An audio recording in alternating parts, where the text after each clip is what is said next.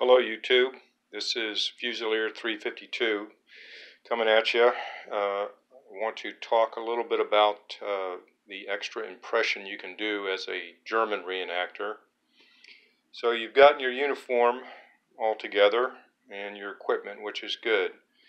There's some other things you can do to add to your impression, and even if nobody else sees it, your comrades might see it if the public doesn't see it even if they don't see it, um, you know you've got it, and it just will add a lot more to your impression and the feel of the whole reenactment that you're in. So we'll start first with the blanket. You can see this is a this is a, an Italian blanket, and this was used a lot by the Germans in World War II. And the good news is these are still available if you search the internet enough. These are uh, the real deal Italian surplus. It's real wool. It's not a wool blend. So in cold climates, it's extremely warm. Now, if it's very cold and you have to sleep in a sleeping bag, this you can uh, put this over the sleeping bag, and that will certainly hide it from the public or from your friends that you are sleeping in a sleeping bag. Uh, next, we've got uh, what I use is a ration bag. is just a cheap cotton drawstring bag, and I just had a uh, had it stamped here with the uh, with the Reichsadler.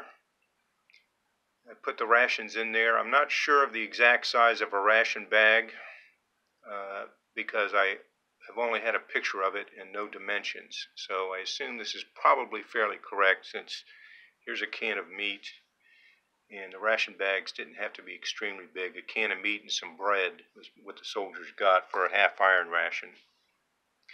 So we'll move on to a few rations that uh, I've made and I like to take on events. Of course, the the peel up uh, lid on the soup can is not authentic, but it's hard to find soup without that anymore.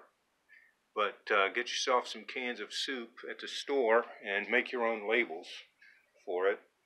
Or also cans of meat, uh, which we have uh, chicken chicken meat there, and here is uh, some kind of pork. It's either uh, ham or it's smoked ham or some variation of ham. And occasionally you can find uh, beef also. Then here's some chocolate bars that uh, some chocolate bars I picked up at the store and then had a had labels made on my printer for it. Uh, make period matches. These labels are available online. Just get yourself some cheap matches at the dollar store. Print the labels out and glue them on. Especially if you're bored at home like me with the COVID-19. Uh, eat with period correct utensils. Here I have an officer's set. This is post-war.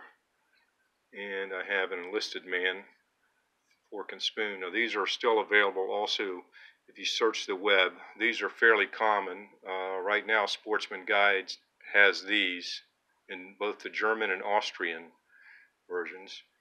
Uh, uh, just a plain flask whether you drink at events or not, uh, I usually just put water in mine. So if I'm in front of the public, I have something to drink out of. It's nice to have a beer stein to drink out of, even if you're not drinking uh, real beer or any alcoholic beverages. Uh, a fairly period correct coffee cup. That's just a standard enamel. Also, just a plain white porcelain is also acceptable. Uh, get yourself some period correct sunglasses from War's End Shop or Kriegs Kriegsende Shop.com. They uh, they're listed under both names. They sell these reproduction. These are uh, faithful to the originals. Uh, I always carry with me a pocket knife, a, a black cat knife or a Mercator knife. These are still made. This is post-war, but these are still made the same way they used to, and it's a good blade. It's a good carbon steel blade that will hold an edge. Uh, get yourself a uh, dog tag also. Most soldiers should be without one. Now for some of my hygiene items, I try and use a period correct razor. This is a for a double-sided razor. Here's the blades. Uh, one of the reenactor ladies, uh, who is a custom soap maker, made me this uh, shaving soap to shave with, so I don't have to pull out something that's not period correct. Here's a uh, period correct toothbrush, period correct comb, and if there's no mirror available, I bring this French mirror here that's Got online somewhere. This is again, this is post-war, and what I do is I, to keep it from getting scratched up, I put it in this cheap cotton bag with a drawstring, and you can find these online too, uh, and then stamp them. I I use tooth powder to brush with. You can either put in uh, store-bought tooth powder or what I like to use is just baking soda. And I found these lids online and found some kind of a tin. I don't remember where I got the tin from, but I keep it in the tin. I glued this, this label on it. Whether you're a musician or not, uh, these are nice to put out on display. The German uh, uh, German uh, Lieder books, uh, volumes 1, 2, and 3 of the popular songs of the time, a lot of march songs and other sentimental songs. Of course, you shouldn't be caught without your wallet and uh, some of your things to go in it, some pocket litter. Uh, this is occupation currency and ration, ration stamps. And if you're lucky enough, you might have uh, some females in your family that will indulge you to wear your uniform and take snapshots. I recently did a review about uh, a book that deals with this subject matter that the Germans took several thousand photos of their significant other wearing their uniforms. That apparently was some type of a hobby, and they carried those with them. But if you got somebody to indulge you and your family that will do that, that's always nice to put in your wallet as well. And of course, you have to have your uh, soldier's book. And if you get lucky enough, you might find somebody that can fill it out for you. Somebody may never see this, but you'll see it. So it's important to have that to add to your impression. Uh, it's always good to have uh, a wound bandage with you. Uh, I received this from, oh, it was so many years ago. I think it was uh, Lancer Outfitters but it didn't have a real bandage in it, so I did put in a uh, surplus. I think it's a Swiss bandage I put in here, so it could actually be used if need be. Also, this this here is a uh, roll bandage that is also Swiss surplus, I believe.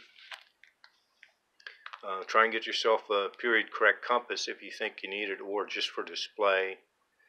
And of course, the uh, correct flashlight is always helpful.